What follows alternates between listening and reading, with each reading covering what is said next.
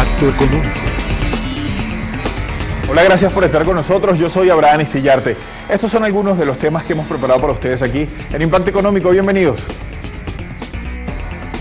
Desempleo en el mundo alcanza niveles históricos.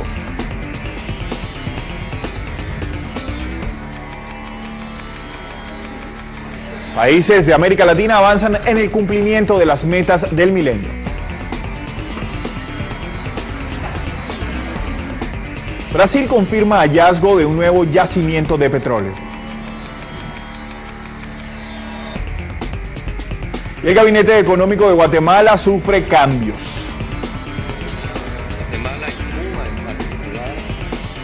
Vamos a comenzar de inmediato a revisar las informaciones que tenemos para ustedes y precisamente el tema de análisis del día de hoy tiene que ver con la seguridad social y los avances que se tienen en el mundo en relación a esto. El desempleo mundial supera los 210 millones de eh, personas y esto lo ha dicho la Organización mm, Internacional del Trabajo. Vamos a ver eso.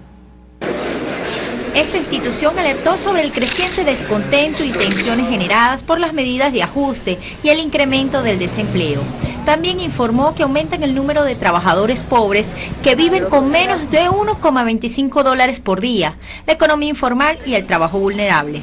En el marco de la reunión del G20 que se realizará el fin de semana en Canadá, la OIT dice que el mundo se enfrenta a una coyuntura crítica y que estas medidas pueden poner en peligro la misma recuperación que se trata de lograr y que también frenarán la recuperación del empleo en el corto plazo.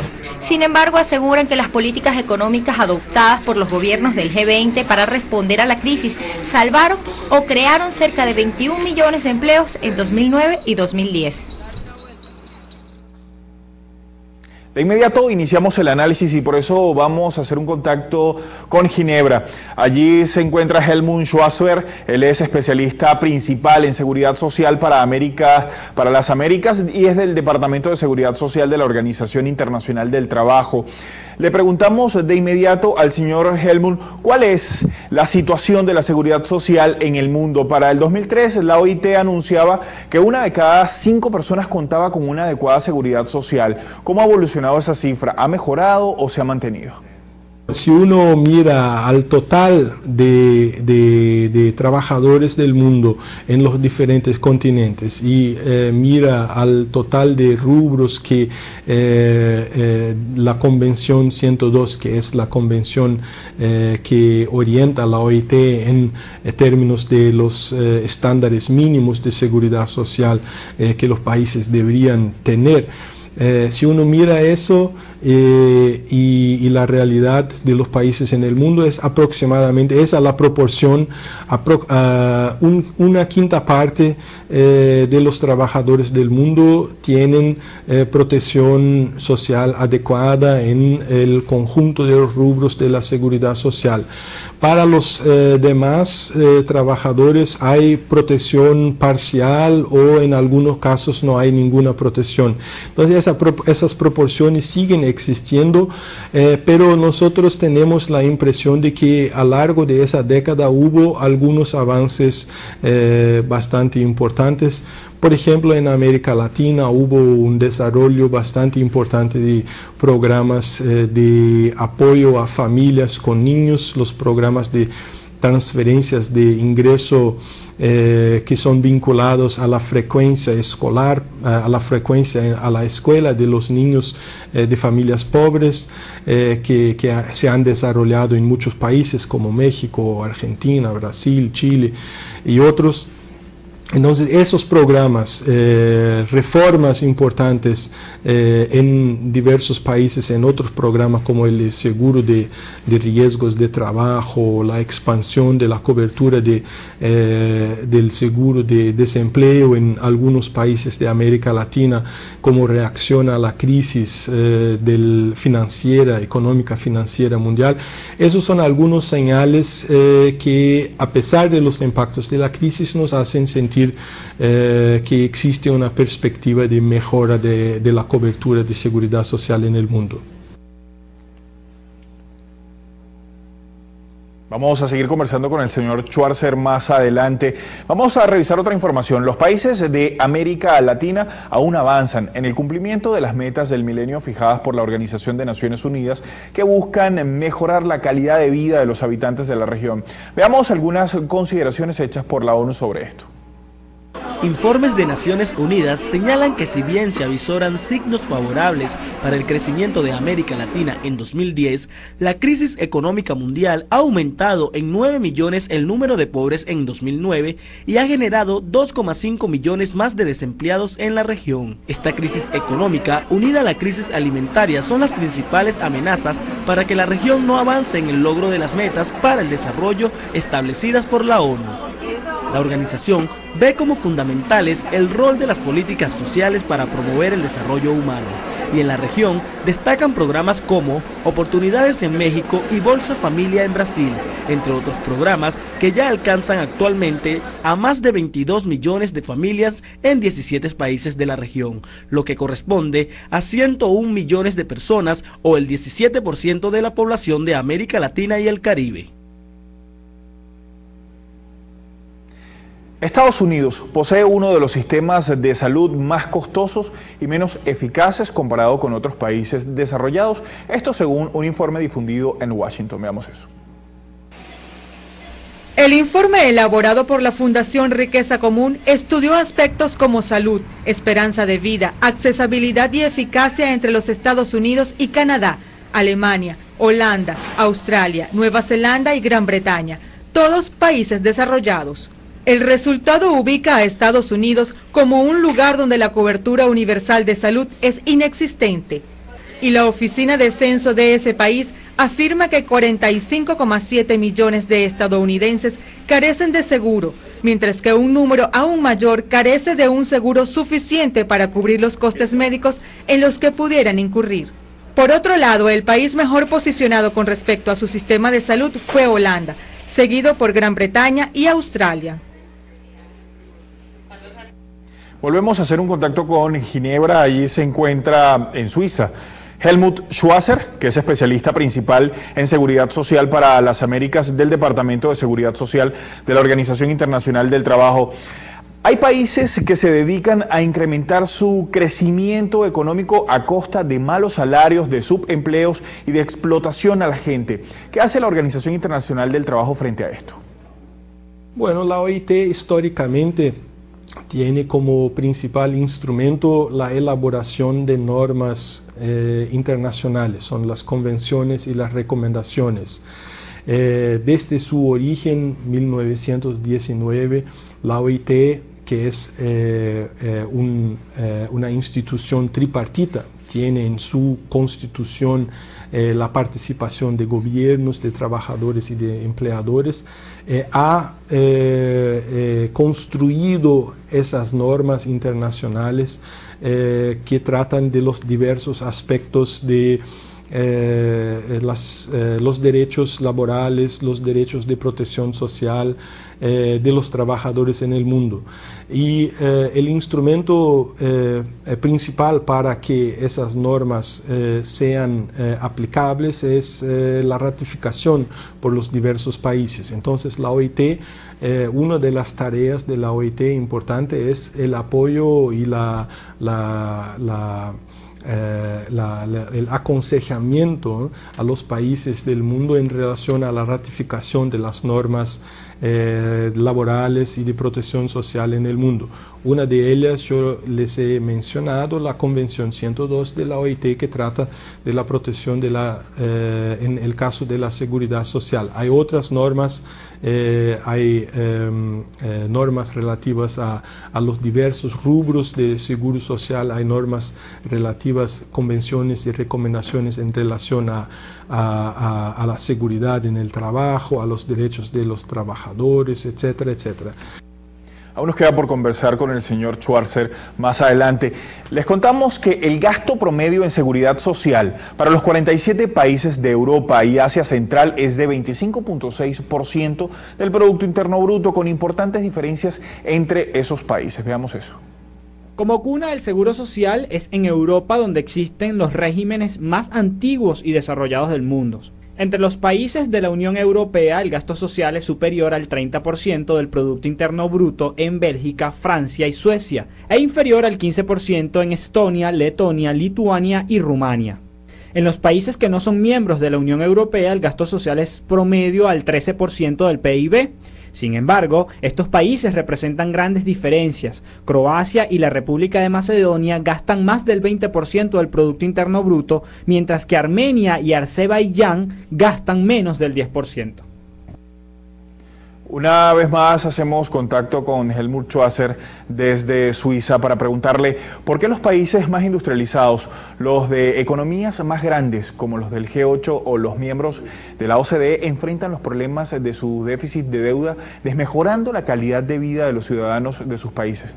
En ese caso, se está pensando primeramente en la salud de la macroeconomía y no en los trabajadores. ¿Es así?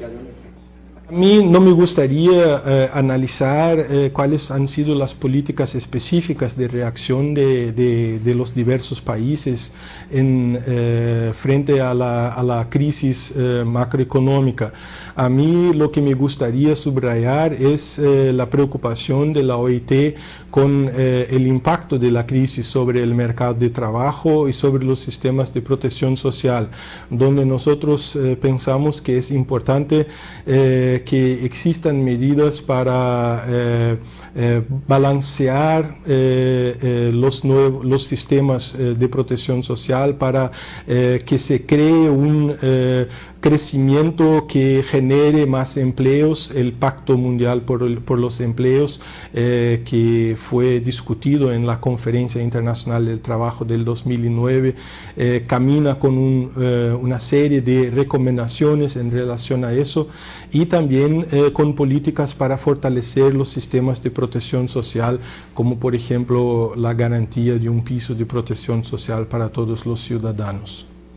Agradecemos al señor Helmut Schwarzer por haber estado con nosotros aquí en Impacto Económico, representante de la Organización Internacional del Trabajo para América Latina. Ya se encuentra con nosotros nuestro entrevistado en piso el día de hoy, que es el profesor Luis Matos, a quien le agradecemos haber venido. Y también vamos a conversar con usted de este tema, profesor, y le vamos a preguntar en relación a el logro que han tenido los países de la región para proveerle seguridad social a sus pueblos. Pero eso vamos a hablarlo más adelante porque tenemos que hacer nuestra primera pausa. A la vuelta tendremos este análisis aquí en Impacto Económico.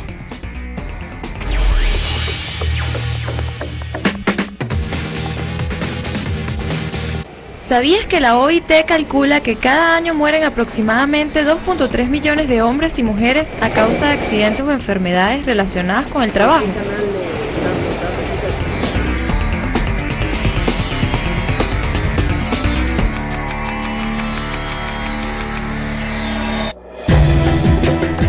Este jueves 24 y viernes 25 se reúnen en Otavalo, provincia de Imbabura, Ecuador, los jefes de Estado de la ALBA TCP para impulsar los procesos de interculturalidad y plurinacionalidad en la región. Se estarán abordando los temas de interculturalidad en la gestión pública, racismo y discriminación, cambio climático y derechos de la naturaleza, comercio exterior entre los pueblos. Este jueves y viernes, cumbre de la ALBA TCP en Ecuador. Telesur está presente.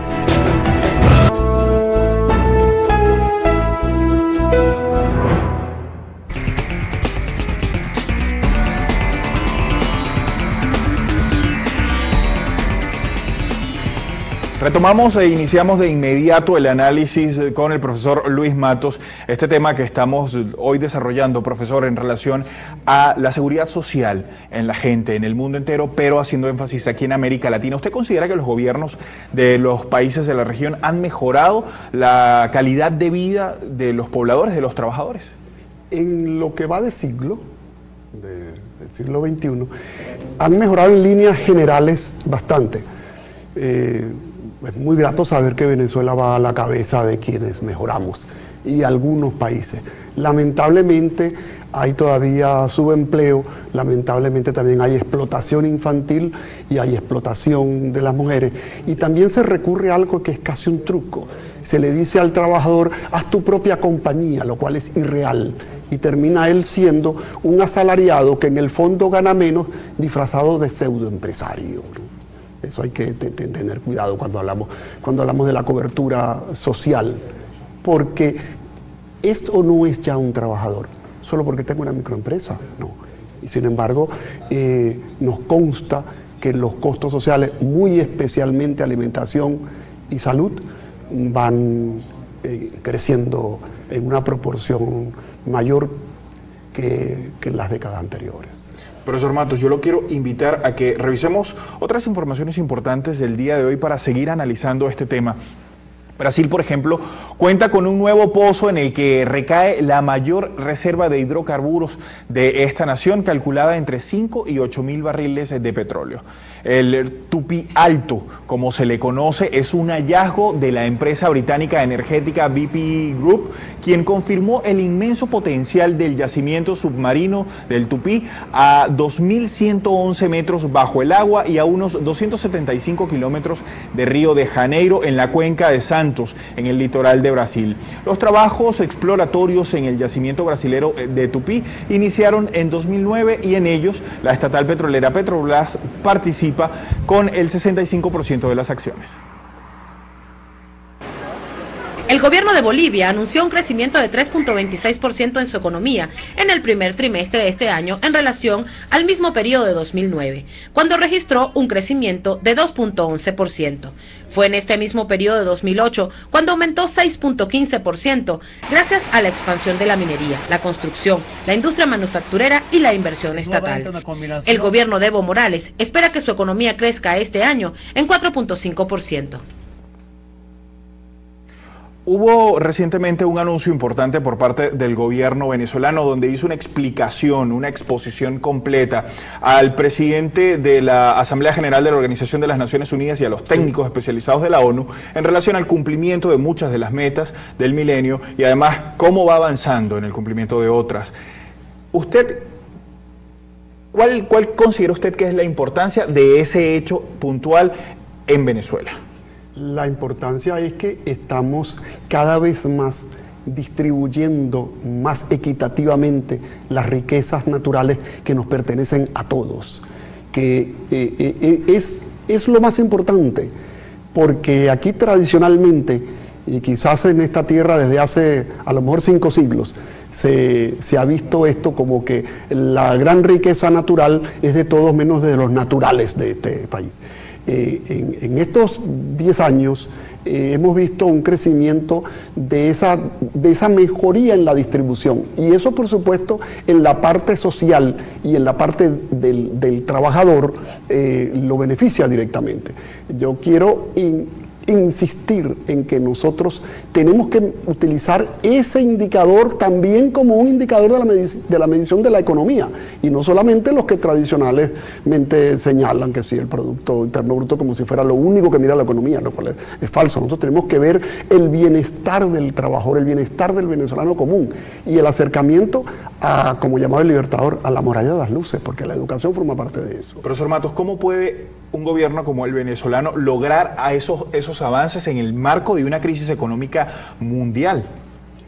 Porque nosotros tenemos una política totalmente diferente a, lo que a, muchos tiene que ver con el sistema. Tiene que ver por supuesto con el sistema con el sistema en general con el sistema político y con el sistema e, económico porque se ha, visualizado otra forma de hacer las cosas, porque nos tenemos que alejarnos de, la, forma, de la forma vigente actual del capitalismo, tenemos que alejarnos del neoliberalismo, porque no es cuestión solo de producir más, es cuestión de que todos tengamos el mejor acceso a esos beneficios. Y lo más importante, la satisfacción de las necesidades prioritarias de todos y cada uno de los venezolanos. ¿Por qué viene el presidente de la Asamblea General de la Organización de Naciones Unidas al país a escuchar de boca de los propios ministros el avance en, sus logros sociales? Yo pienso que entre otras, primero viene a constatar y tengo la esperanza de que venga quizás incluso a aprender y a divulgar que, no debemos, o sea, estos medios nuestros, eh, los medios bolivarianos, tenemos que utilizarlos para dar, para decir, utilizando palabras muy viejas, la buena nueva al mundo. La buena nueva es esta. La buena nueva es que todos tenemos los mismos derechos. Y no solo los derechos escritos, los derechos espirituales, los derechos democráticos, no, el derecho económico, el derecho a la salud, el derecho al bienestar, el derecho a la economía, el derecho a la educación, que es muy importante, sobre todo en, en un país como este, donde cada vez hay más jóvenes, donde cada vez hay, hay un futuro que se levante. Y eso, por supuesto, hacerlo dentro de las normas del desarrollo sustentable, o sea, aquel en el cual yo pueda satisfacer esas necesidades sin comprometer el futuro. O sea, no vamos a satisfacer nosotros comprometiendo o hipotecando a nuestros hijos y a nuestros nietos. Profesor Matos, hay más que hablar sobre este tema y lo vamos a hacer en nuestra próxima parte porque nos toca hacer una nueva pausa. A la vuelta tendremos más de este análisis.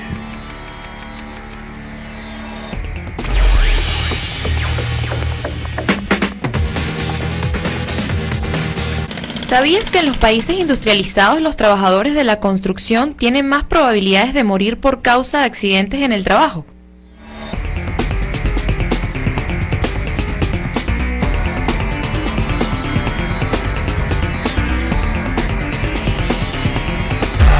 Al bate las mujeres.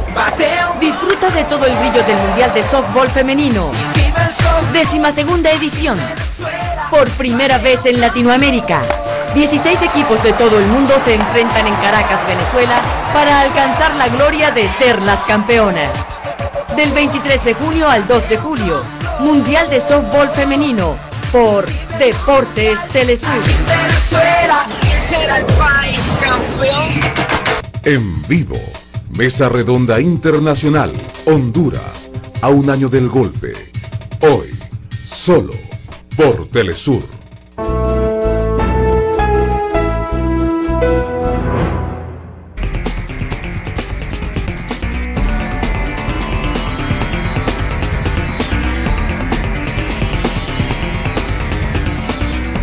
Seguimos con el análisis aquí en Impacto Económico y el profesor Luis Matos, economista venezolano. Le preguntamos, profesor, el presidente de la Asamblea General de la Organización de Naciones Unidas decía que el resto de los países o otros países tienen que aprender del ejemplo venezolano. ¿Qué tienen que aprender de lo venezolano?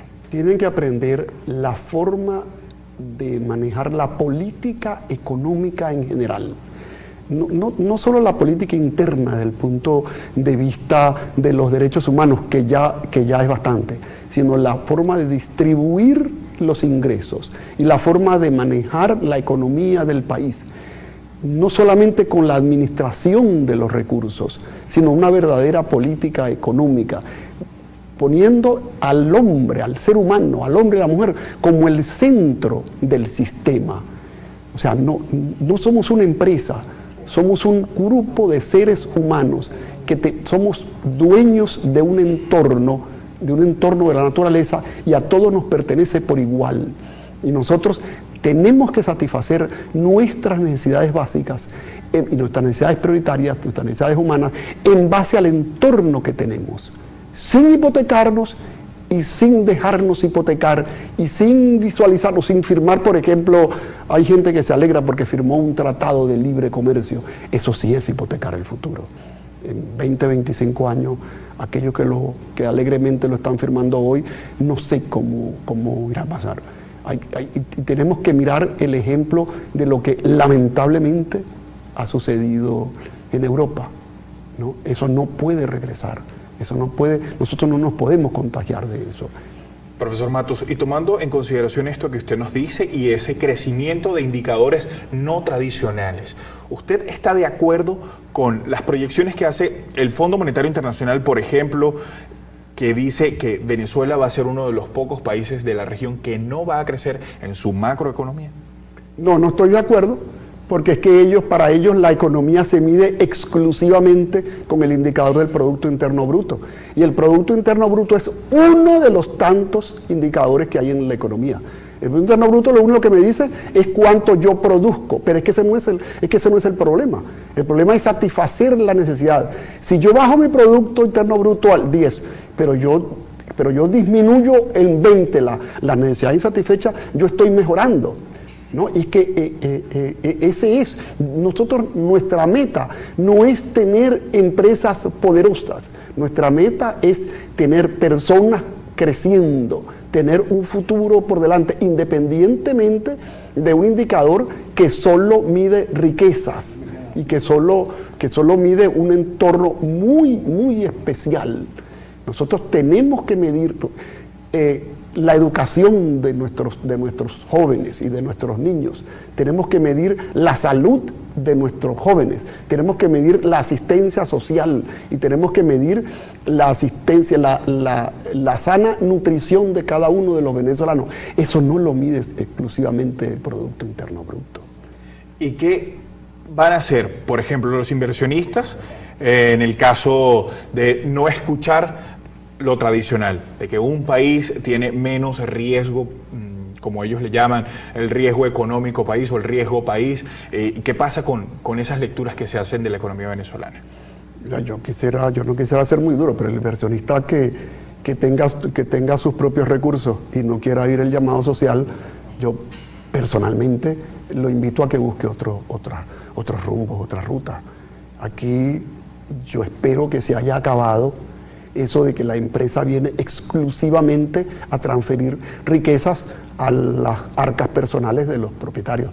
Nosotros, sobre todo un país como este, que se basa en producción de la materia prima energética que durante mucho tiempo va a morir al mundo, que son los hidrocarburos. Nosotros tenemos la, la reserva más grande del planeta. Esa hay que cuidarla, esa hay que desarrollarla, pero ese es para todos los venezolanos. Profesor Matos, muchas gracias otra vez por haber venido a Impacto Económico. Es un honor, siempre a tu orden. Muchísimas gracias. Hasta aquí el programa del día de hoy. Recuerden que tienen una dirección de correo para comunicarse con nosotros, es impactoeconómico.telesurtv.net y los invitamos a seguirnos también en Twitter por arroba IETelesur. Hasta pronto.